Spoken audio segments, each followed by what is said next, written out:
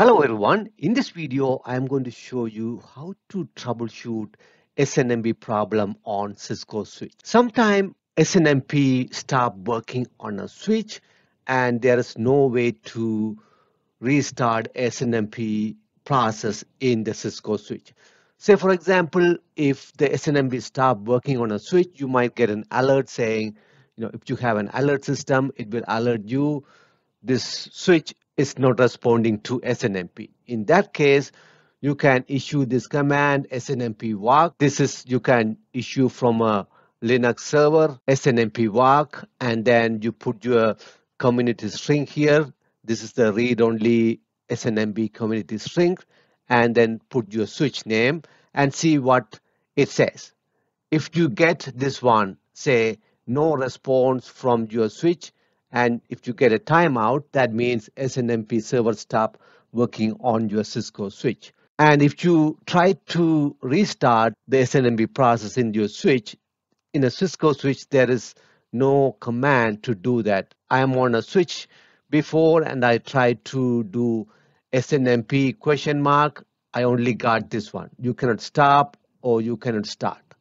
And if you put SNMP server question mark, it is an unrecognized command. So there's no command in a Cisco switch for you to restart. This is I was doing on a 3650 kind of latest model in most of the production environment. I don't know whether it's possible in other switch model, but I hope it is not. But I found this way that can restart SNMP process, SNMP server on your Cisco switch successfully. I have done this, it worked. So that's what I want to share with you all. Because I could not find any Cisco forum, anybody gave a solution really how to restart SNMP process in a Cisco switch. So I want to share this in my YouTube channel so others can get benefited from it.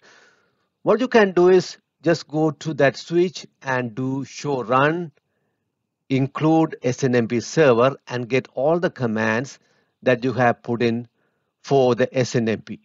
And what you have to do is just copy and paste and put it on a notepad and then you just put no in front of all of them and then you just paste it here in your switch.